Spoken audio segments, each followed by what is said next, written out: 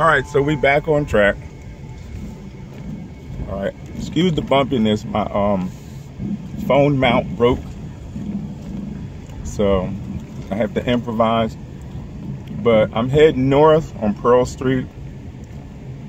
Um, there's some debris, but not as bad as you would think. Um, there are people out here working on working in front of their homes. Uh, there are trucks actually going by, uh, presumably to pick up debris and stuff. So I'm gonna go up Pearl Street as much as possible. Shout out to Angie Nixon. Angie. Last I heard, she was on Moncrief. Hmm. So I'm coming up to Pearl and 7. Dude is riding a bicycle, not even looking, just going out the street. Go ahead, I'm not gonna hit you. I see you. So that's why I say you gotta be careful and know your uh, rules of the road.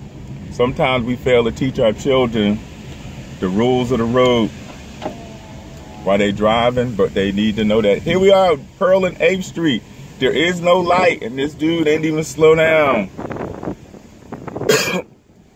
All right, so even though if you have the right of way, please slow down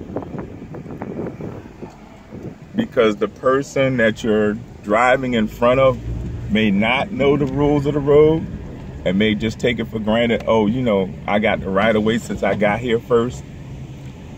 And we all know that's not the case because we all know how some people drive in Jacksonville. But um,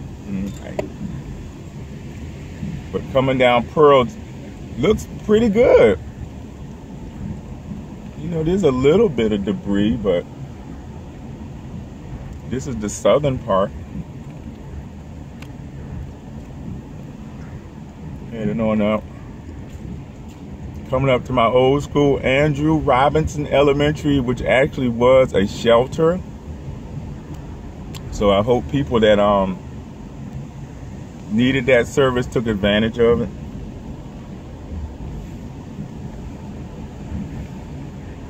Because that was a wicked storm. Uh, coming up to 12th and 8th Street.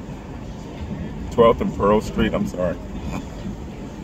Let me pull over because this dude is like riding my tail.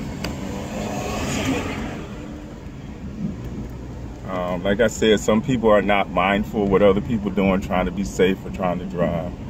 So, you know, you gotta be patient. You gotta be patient. Going across the train tracks.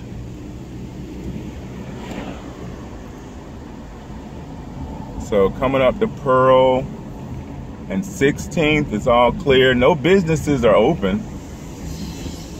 Everything is closed.